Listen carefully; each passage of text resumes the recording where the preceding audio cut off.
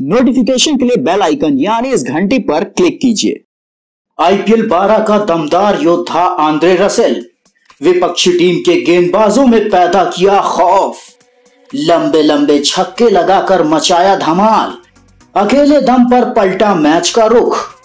Andre Russell को है अपनी ताकत पर भरोसा। बेंगलोर के खिलाफ तेरह गेंद में 48 रन की पारी खेलकर कोलकाता को शानदार जीत दिलाने वाले आंद्रे रसेल ने कहा है कि दुनिया का कोई भी मैदान मेरे लिए बड़ा नहीं है, मुझे अपनी ताकत पर पूरा भरोसा है।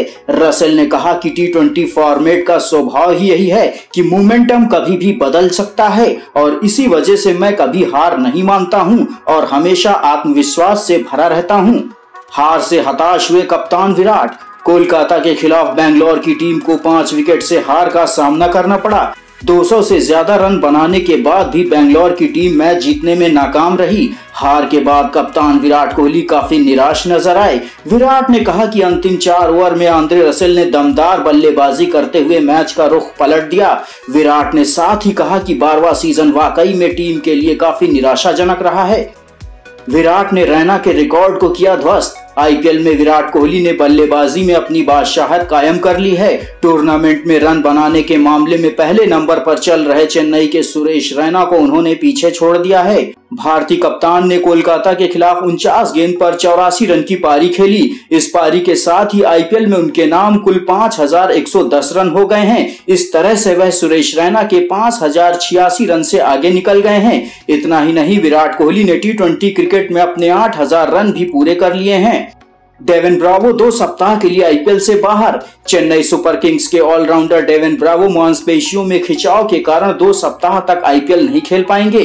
टीम के बल्लेबाजी कोच माइक हसी ने इसकी जानकारी दी। हसी ने साथ ही उम्मीद जताई कि ब्रावो जल्द ही पूरी तरह से फिट होकर मैदान में वापसी करेंगे। गौरतलब है कि मुंबई के खिलाफ हुए मुकाबले के दौरान ब्रावो चोटिल हो गए थे। ब्रावो का बाहर होना चेन्नई की टीम के लिए इसलिए भी झटका है क्योंकि उन्होंने अब तक टूर्नामेंट में शानदार गेंदबाजी करते हुए चार मैच में सात विकेट लिए हैं। असगर को कप्तानी से हटाने पर नबी और राशिद हुए नाराज़। अफ़गानिस्तान क्रिकेट बोर्ड ने एक चौंकाने वाला फैसला लेते हुए इंग्लैंड में होने वाले विश्व कप से ठीक पहले असगर अफगान को कप्तानी से हटा दिया है। बोर्ड के इस फैसले पर टीम के दो सीनियर खिलाड़ी राशिद खान और मोहम्मद नबी ने नाराज़गी जताई है।